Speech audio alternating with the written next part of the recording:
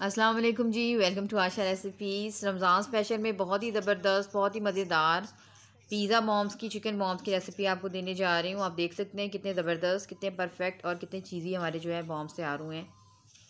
तो आए मैं आपको दिखाती हूँ मैंने इसे कैसे रेडी किया है। सबसे पहले जो हम पिज़्ज़ा डो तैयार करेंगे इसके लिए।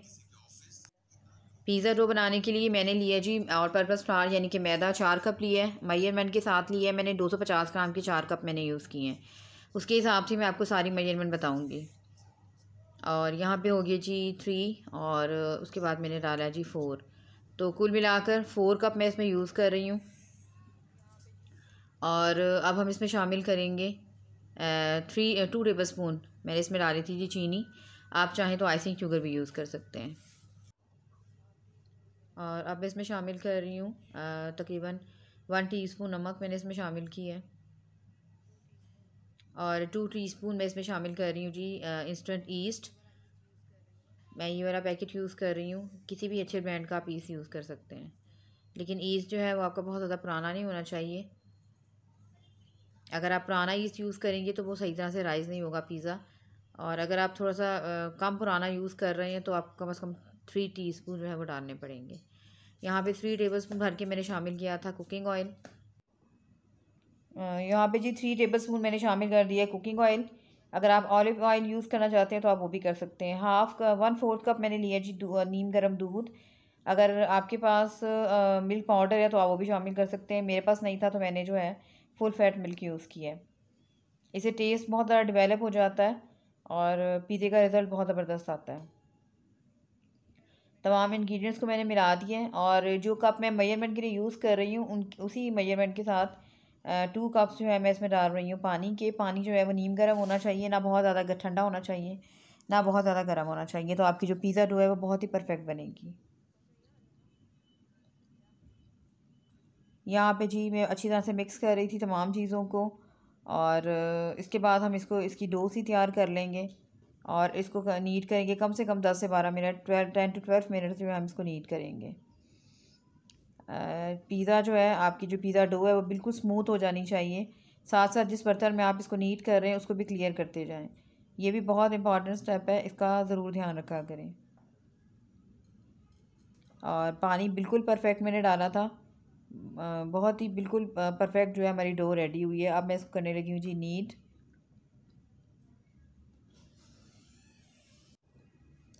तकरीबन वन टेबल स्पून मैंने कुकिंग ऑयल लिया है। दोबारा से डाला है। और इसको मैं नीट करने लगी हूँ। आपकी जो परफेक्ट पिज़्ज़ा डो है, उसको, उसकी परफेक्ट रेडी होने की ये निशानी है कि जैसे जैसे आप इसको नीट करते जाएँगे, वैसे वैसे जो है आपकी जो डो है, उसमें स्टिकीपन ख़त्म होता जाएगा और बहुत ही स्मूथ सी सॉफ्ट सी डो जो है वो हमारी रेडी हो जाएगी। मेरे चैनल पे इससे पहले भी मैंने पिज़्ज़ा डो की रेसिपीज़ दी हैं।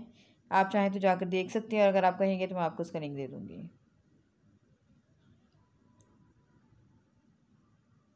और यहाँ पे जी मुझे डो को नीट करते हुए तकरीबन पाँच छः मिनट हो गए थे, लेकिन अभी मुझे इसको और नीट करना है। यहाँ तक कि इसमें जो स्टिकी पाना है वो बिल्कुल ख़त्म हो जाए। आप देख सकते हैं आहिस्ता आहिस्ता जो है सरफेस को छोड़ता जा रही है हमारी जो डो है, और एक स्मूथ सी जो है डो बन गई है। और स्टिकी पन जो है वो बहुत कम रह गया है। तो बस इस तरह से मैंने इसको रेडी करना था। मैं आपको पास से भी इसको दिखा देती हूँ।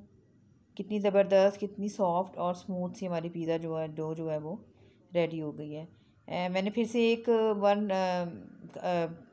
टेबल स्पून डाला था जी कुकिंग ऑयल और बॉल में अच्छी तरह से तमाम क्लियर कर दें आटे को और अच्छी तरह से मैंने ऑयल डाल दिया था और इसको मैंने रख दिया था जी डो को रेडी होने के लिए।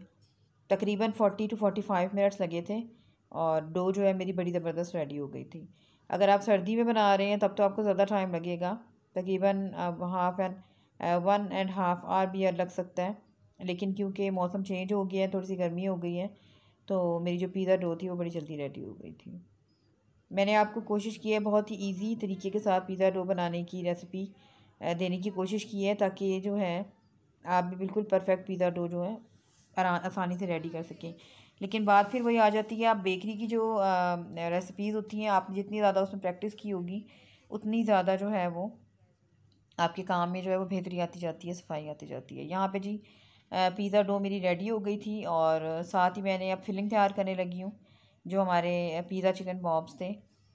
तो मैंने उसके लिए लिए ब्रेस्ट का पीस और इसको मैंने बॉईल कर लिए और श्रेडेड कर लिए चिकन को। यहाँ पे जी एक बड़े साइज़ की मैंने कैप्सिकम ली थी, बिल्कुल छोटा छोटा सा मैंने इसको चॉप कर लिया आप अपनी मर्ज़ी से और वेजिटेबल भी ऐड कर सकते हैं।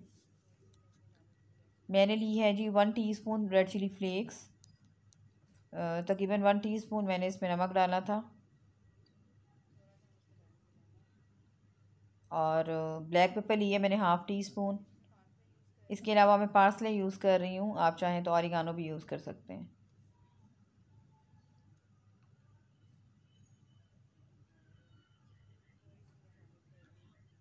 ये यहाँ मैं शामिल कर रही हूँ जी ब्लैक पेपर।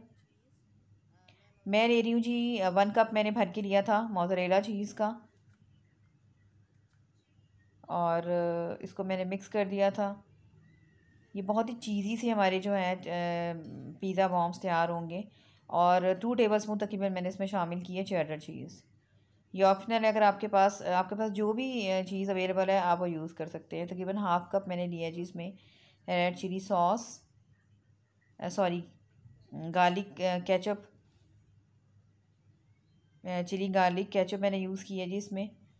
और ये काफ़ी स्पाइसी है। आप अपनी मर्ज़ी से जो है, कोई और केचप भी डाल सकते हैं। मिक्स कर दें तमाम फिलिंग को अच्छी तरह से। और फिलिंग जो है वो हमारी हो गई है जी रेडी तो बस इसको साइड कर देते हैं। और अब आ जाते हैं अपनी डो की तरफ़। डो हमारी जो है वो परफेक्टली बिल्कुल रेडी हो गई हुई है राइज़ हो गई हुई है।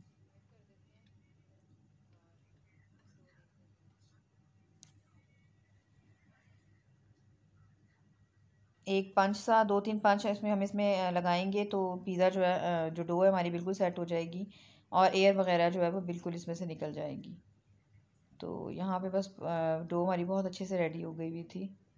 तो अब मैं इसको एक जैसा कर रही हूँ। दो इक्वल पार्ट में मैंने इसको डिवाइड किया था।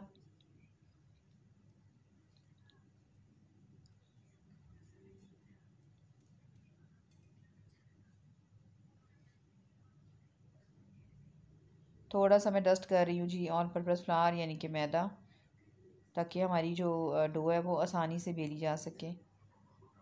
कोई स्टिक्की पर ना हो इसमें। तो बस मैंने टू इक्वल पार्ट में कर दिया था इनको। और फिर मैंने जो पिज़्ज़ा डो की जो रोटी है वो बेल ली थी और मैंने पिज़्ज़ा की तरह बहुत, यानी कि मीडियम सी नहीं रखी थी, बारीक रखी थी क्योंकि हमने इसकी जो है वो बॉम्स तैयार करने हैं। तो बहुत ज़्यादा मोटी डो जो है वो अपने नहीं रखनी है। और जो साइज़ आप रखना चाहते हैं उसके हिसाब से आप कोई कैप या कोई कटर कुछ भी यूज़ कर सकते हैं। मैंने कैप ली थी और बड़ा अच्छा सा साइज़ जो है मेरा रेडी हो गया था।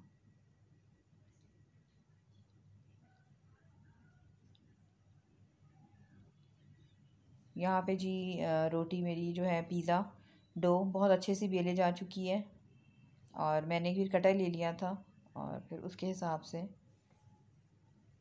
इसको कट किया था।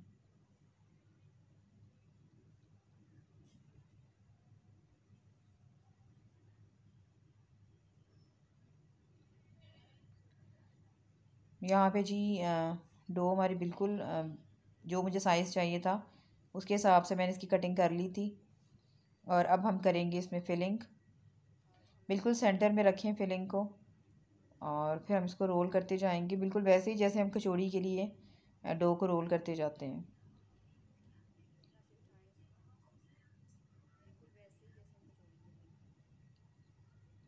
और इसके, ये तैयार करके उसके बाद मैंने इसको पाँच छः मिनट के लिए रख दिया था। उससे ये होता है कि क्योंकि ये पिज़्ज़ा डो है तो ये और ज़्यादा राइज़ हो जाती है और बड़ा अच्छा सा साइज़ जो है वो रेडी हो जाता है। तो मैंने थोड़ी देर के लिए इनको रखा था राइज़ होने के लिए और काफ़ी राइज़ हो गई थी ये।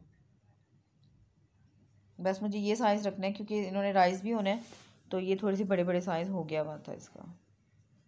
एक दफ़ा और मैं आपको दिखाना चाह रही थी ताकि अगर कोई कन्फ्यूज़न है या किसी को समझ नहीं आई है तो वो दोबारा देख सकते हैं। बिल्कुल, हमने कचौड़ी की तरीके से ही इसको फिलिंग ऐड की है और फिर इसको बिल्कुल गोल शेप में ले आए हैं।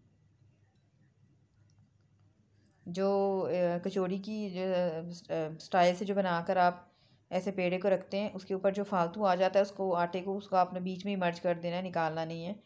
ये पिज़्ज़ा डो है इसका कोई मसला नहीं है, बिल्कुल भी ये कच्ची नहीं रहेगी, आपने बिल्कुल लो फ्लेम पे इसको बनाना है और अंदर से ये बिल्कुल पिज़्ज़ा डो की तरह या किसी भी ब्रेड की डो की तरह जो है रेडी होगी। ऊपर से ये बहुत ही क्रिस्पी बनते हैं और अंदर से बहुत सॉफ्ट होते हैं ये पिज़्ज़ा चिकन बॉम्ब्स जो है। तो बस इस तरह से मैं और भी रेडी कर लूँगी। यहाँ पे जी मेरे पिज़्ज़ा चिकन बॉम्ब्स रेडी हो गए थे राइस भी हो चुके थे मैंने पैन ले लिया था और गर्म हो गया था ऑयल। मैंने बिल्कुल मीडियम लो फ्लेम पर इसको बनाया है।